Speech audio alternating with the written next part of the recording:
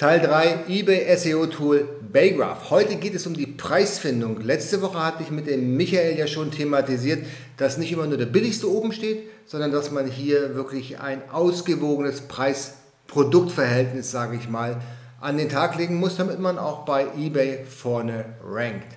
Und genau dafür kann man auch perfekt Baygraph einsetzen. Da gibt es eine eigene Funktion für. Michael stellt uns die jetzt gleich vor. Los geht's!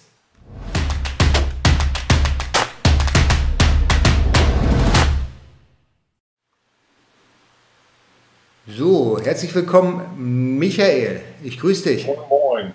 Ja, moin, moin. Ja, prima, dass du wieder Zeit gefunden hast. Wir sind ja schon mittlerweile bei Teil 3 von 60 Teilen.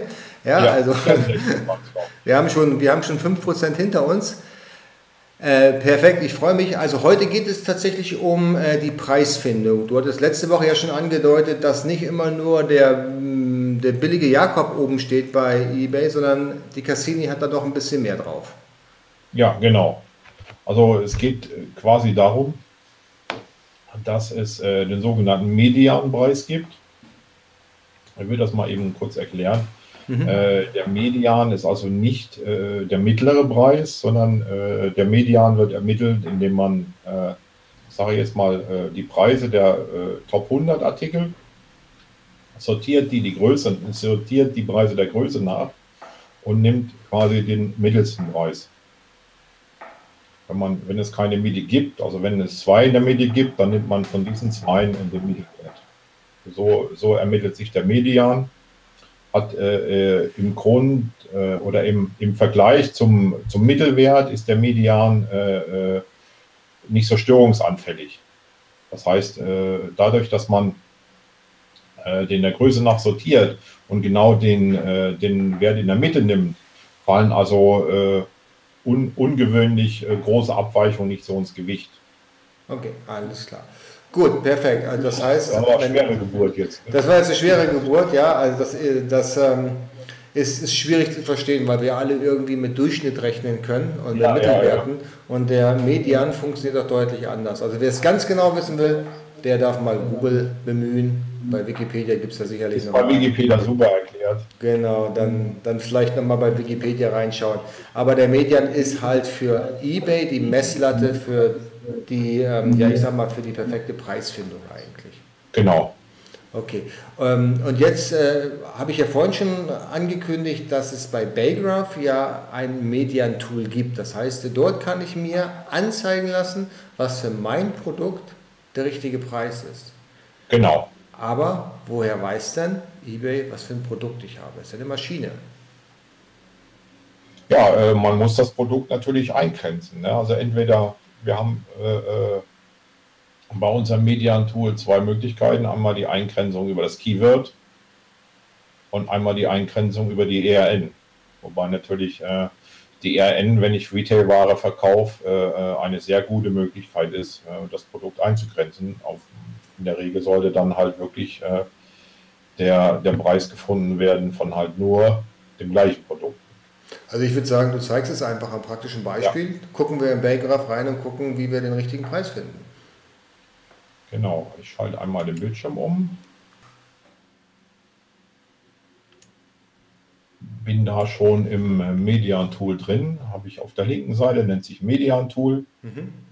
Und kann da, wie gesagt, äh, sowohl über das Keyword als auch über die, äh, über die ERN mir versuchen, da einen Medianpreis rauszufinden. Ne? Wenn, ich, wenn ich übers Keyword gehe, äh, dann sollte man versuchen, das so nah wie möglich einzugrenzen, ne? weil die ganze Logik, die dahinter steckt, ist ja, dass wir nach dem Keyword suchen bei eBay und dann äh, versuchen aus den Top 100 äh, den Median auszurechnen. Und äh, wenn ich da jetzt meinetwegen mit dem Keyword äh, iPhone reingehe, wird uns das nicht viel bringen, weil dann natürlich die iPhones und die iPhone-Hüllen äh, herangezogen werden. Ne? Hm, genau, ganz genau. Also da müsste man sich spitz aufstellen und gucken, okay, was für ein Produkt habe ich eigentlich und das möglichst genau benennen. Ja, ich zeige das mal an einem Beispiel hier. Zum Beispiel äh, Gardinenröllchen. Äh, das heißt, ich habe dann hier eine, äh, eine Grafik, die das Ganze auswertet. und habe da äh, die Price Range äh, äh, zum Thema Gardinenröhrchen. Ne? Man, wie gesagt, dann habe ich hier wieder ein Thema, wo man das, äh, wo das ganz gut hinkommt, was ich sagte mit dem Eingrenzen. Ne? Ich meine, äh, die einen verkaufen 50er äh, Pack Gardinenröhrchen, die anderen haben 100er Packs, die, die anderen haben 200er Packs. Ne? Dann kann man zum Beispiel versuchen, das noch ein bisschen mehr einzugrenzen.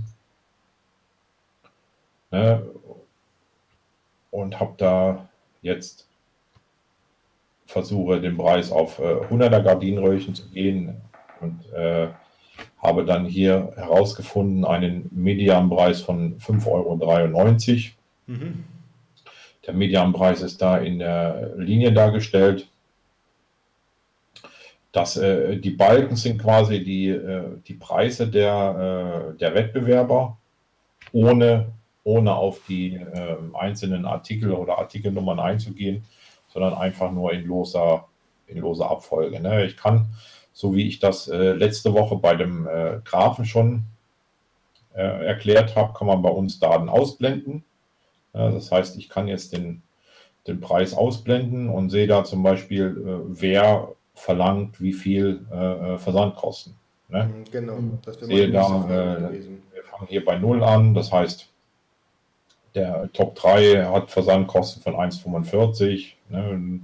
Da ist einer, der hat äh, Versandkosten von 4,99 und so weiter und so weiter. Ich kann das natürlich auch äh, nur auf den, auf den Artikelpreis beziehen. Ne? Also wenn man da Informationen braucht, auch wie, wie, sind meine, wie sind meine Wettbewerber versandkostentechnisch aufgestellt, weil auch der Versandkostenmedian spielt eine Rolle. Ne? Also äh, äh ich sollte, wenn ich, wenn ich Versandkosten verlange, sollte ich im Median der Wettbewerber bleiben. Ja, also es äh, bringt mir ganz gutes Beispiel ist zum Beispiel Expressversand. Ne? Es bringt mir keinen Ranking-Schub, wenn ich äh, sage, ich biete Expressversand an und verlange dann dafür 99 Euro, wenn der Wettbewerb 14,99 verlangt. Mhm, okay. Nur um das mal, um das mal ein bisschen extrem auszudrücken. Ne? Also man sollte äh, ich sage, es hat niemand, äh, niemand was dagegen, wenn ich Expressversand anbiete. Ne? Nur sollte ich äh, im Preis des Expressversandes mich am Wettbewerb orientieren. Äh, wenn, ich, wenn ich das nicht kann, ne, dann muss man überlegen, macht das Sinn? Auch das ist wieder ein Faktor, den man messen kann. Ne? Macht das Sinn, Expressversand äh, anzubieten oder lasse ich es lieber weg? Ja, genau. Also bei, bei Artikel, der 4,99 kostet, Express anzubieten, der 7,99 kostet, wird wahrscheinlich eher äh, kontraproduktiv sein. Man weiß es nicht jetzt. Ne? Das würde ich, das ich gar nicht in Abrede stellen, ohne das mal auszuprobieren äh, zu haben. Ne? Weil äh, auch eBay weiß, was ein Expressversand kostet in Deutschland. Ne? Und wenn ich, wenn ich den Service anbiete, äh, jemand, der gerade am Gardinennähen ist, äh, den per Express äh, 100 Gardinenröhrchen zu liefern, vielleicht spielt eBay das nach vorne, wenn jemand äh, 100 Gardinenröhrchen sucht. Hm, okay, ja, verstehe ich. Verstehe ja. ich sehr gut. Ich habe auch mal gehört, dass eine zweite Versandmethode, die man anbietet, sehr wohl ein, ein Soft-Ranking-Faktor sein kann. Definitiv, definitiv. Also alles, alles, was kundenfreundlich ist, wie gesagt, äh, es muss ja nicht, ich muss ja den Expressversand nicht kostenlos anbieten. Ne? Es geht ja, äh, wichtig ist, dass man, dass man ein, möglichst eine Versandart hat, die kostenlos ist. Bei diesen äh, kleinpreisigen Artikeln ist das halt natürlich eine Kalkulationsfrage. Ne? Äh, kann ich, kann ich äh, mit, mit 4,99 Artikeln kostenlosen Versand anbieten? Ne? Was ist mit den Kunden, äh, die 200 Gardinenröhrchen brauchen? Ne? Die zahlen ja dann zweimal Versand theoretisch. Ne? Das heißt, äh, dann ist das schon wieder ein Punkt, über Varianten nachzudenken, etc. Aber wenn man die Möglichkeit hat, den Expressversand anzubieten, ne, nehmen wir mal an, ich habe eine Post, äh, Postfiliale in der Nähe, ne, da kann ich äh, ganz normale Expresssendung einliefern, auch ohne dass ich einen Vertrag habe mit der DHL. Dann lohnt sich das immer für einen Standardpreis, weiß ich nicht, 15 Euro oder so, einen Expressversand anzubieten. Zumindest das mal auszuprobieren. Gut. Aber grundsätzlich ist das hier eine ziemlich gute Methode, um, um zu schauen, okay, ähm, was ist der Durchschnittspreis oder der Medianpreis in diesem Falle äh, für eBay und vor allen Dingen auch bei meiner eigenen Preiskalkulation kann ich da ja einsteigen und sagen, ja, ich kann eben äh, mit den Medien, kann ich tatsächlich sinnvoll hier auch bei eBay mitrocken und eigentlich eine Auktion einstellen. Genau, genau. Und halt äh, eventuell sogar im Preis nach oben gehen, wenn ich äh, zu weit unten bin. Ne? Auch das kann man mal probieren. Genau, weil wir gesagt haben, wenn, wenn du zu weit weg vom Medien bist, bei, dein, bei deinem Produkt, kann es natürlich schon sein, dass sich das negativ auf dein Ranking auswirkt. Genau. Okay. Also Wie möglicherweise gesagt. bietet ihr es zu billig an und verliert deshalb die Rankings, ja, anstatt das, was man normalerweise vermuten würde, nur, nur die, die zu teuer anbieten. Genau.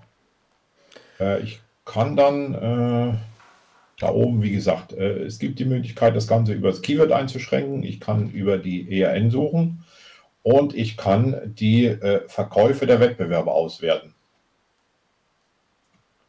Äh, muss ich dazu sagen, man sollte da mit der äh, Option ein bisschen vorsichtig sein, weil da sehr viel Daten abgefragt werden.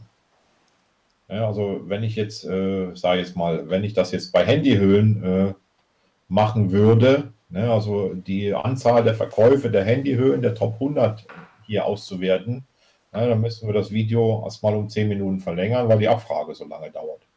Jawohl, genau. Deswegen das heißt, haben wir ja. hier die Möglichkeit gegeben, äh, äh, die Anzahl der Tage dieser Abfrage zu beschränken. Äh, ich nehme mal als Beispiel ein Keyword, wo die Verkäufe nicht so hoch sind. Ne, eine, na, eine Festplatte.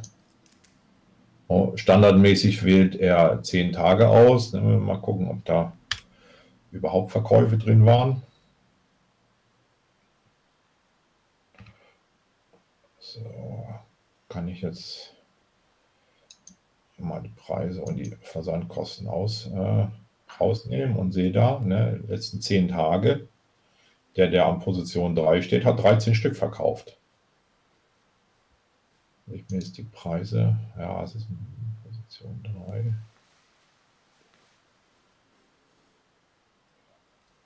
Das ist für eine WD Red 6 GB schon sehr, sehr niedriger Preis. Ne? Also da ist schon ein bisschen, da muss man sich dann mal im Detail angucken, ob das nicht, äh, ob das nicht Auktionen sind, die da jetzt momentan vorne stehen. Mhm. Jawohl. Ja, also, weil äh, 120 Euro, man sieht es auch an den Median. Weiß gar nicht, was der WD Red 6 Terra habe ich gerade nicht im Kopf, so den Marktpreis, aber ich denke, dass sich das der eher da um die 220 Euro anzu, anzusiedeln ist. Ne? Man sieht mit 400, das sind einige, ja, die da extrem hoch äh, im Preis liegen, eventuell weil sie out of stock sind. Ne? Oder, oder dass wir wirklich mit dem Keyword, was jetzt als gutes Beispiel ist, in ein anderes Produkt reingehen. Ne? Also, wenn es, ich könnte mir vorstellen, dass wir da, da oben ne, dass das äh, äh, äh NAS-Systeme sind, ne, die eben diese Festplatte eingebaut haben, wo das dann im Titel drin steht. Mhm, ja, macht Sinn. Ne, also, wie gesagt, ja. wenn man die Möglichkeit hat, über Retail-Ware zu gehen, kommt das direkt mal. Moment.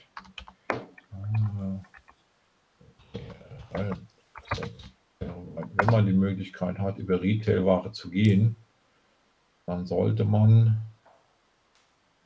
äh, versuchen, entweder man hat die ERN oder versucht sie rauszukriegen. Mal eben beim Wettbewerb schauen, ob der an seinen Daten, da ist die ERN-Nummer. Ja. Wir sehen auch da 188, wo sich der Preis bewegen sollte. Man versucht da mal über die ERN zu gehen. Ja, und dann sieht man natürlich ein deutlich homogeneres Bild. Ja, richtig. Und da liegen wir bei Median auch bei 100, 214, wenn ich das richtig sehe. Ja. Was, bei, was jetzt zu den 188 deutlich besser passt als die 400 und ein paar zerquetschen, die wir ja, haben. Ja. Ist ja, aber das, das zeigt das auch wieder ganz deutlich. Ne? Wir suchen direkt nach dem Keyword. Wie gesagt, ich vermute stark, dass wir da äh, äh, Festplatten, Gehäuse dabei gehabt haben, wo dann sogar zwei, drei, vier, acht Festplatten drin sind. Ne? Und dann kommen natürlich so Preise wie 3000 Euro zustande. Ne? Ja, ja, auch wenn, wenn du sowas eingibst wie 256 SSD-Festplatte, dann kostet die ja. Festplatte, keine Ahnung, mittlerweile 150 Euro. Aber du findest natürlich auch alle Laptops wo ein 256 SSD eingebaut ist und der Median wird wahrscheinlich exorbitant hoch sein und nicht der Realität genau, entsprechen. Genau, genau. Also wie gesagt, aber hier äh, ist das schon ein sehr schönes Ergebnis. Ne? Und dann sieht man auch, dass die, ich sage, er zeigt jetzt hier nur äh, 27 äh, Artikel an, weil er halt nur 27 Mal die ERN gefunden hat. Mhm. Ja, und man sieht auch, dass die ersten, ich sage, die, die äh, Top 10, die Top 15 äh, äh, sehr nah am Median sind. Ne? Und was dann weiter, weiter hinten renkt, schon ein bisschen, bisschen teurer ist. Ne? Aber du hast hier auch 209, 202, ne, 198, nicht der billigste steht oben. Da haben wir den gleichen wieder, der ist wieder auf Platz 3 mit 13 verkauften Stück. Ne. Da haben wir jeweils, jeweils äh, zwei verkauft. Wie gesagt, die letzten zehn Tage. Ne, und äh, da siehst du auch, wer Versandkosten verlangt. Ne? wieder ja, hintere Platzierung. Genau. Also das sind alles Sachen, die kann man so ein bisschen, ein bisschen ableiten, ein bisschen, bisschen rumspielen, ein bisschen selber probieren, ne, das Ranking beobachten und dann kann man da schon äh, für den Preis auch seine Rückschlüsse ziehen. Ja, sehr cool. Also das war jetzt ein echtes Learning. Also der Median, nicht der Durchschnittspreis. Und was ich heute nochmal außerdem gelernt habe, ist, dass Versandkosten nicht unbedingt produktiv sind fürs Ranking, wenn alle anderen ohne Versandkosten anbieten. Gut, Learning für heute, sehr schön. Gut, alles klar, das war's. Teil 3. Vielen Dank, Michael. Wenn euch diese Serie gefällt, haut das ruhig mal in die Kommentare rein, ob wir weitermachen sollen. Gerne auch Fragen, wenn welche auftauchen. Fragen, der Michael und ich, wir versuchen die so schnell es geht zu beantworten. Abo-Button drücken, Glocke drücken, damit ihr informiert werdet, wenn ein neues Video online geht. Genau. Und wir sehen uns nächste Woche wieder, Michael. Vielen Dank soweit. Alles klar, angenehme Woche für dich. Die auch. Tschüss. Tschüss.